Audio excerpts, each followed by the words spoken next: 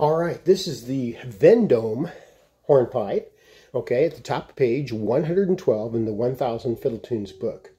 Okay, now this is kind of a rhythmic challenge here. We have one flat in our key signature, and we have a lot of dotted eighths, sixteenths, and then mixed in we have a number of triplets.